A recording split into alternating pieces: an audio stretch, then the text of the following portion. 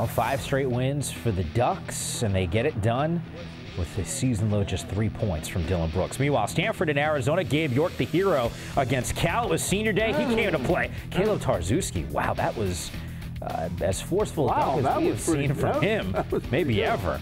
York. This was a theme in this game, not just from Gabe, but Arizona as a whole. He had a career high, 32 points, 9 of 14 from three. Arizona score record 17 threes.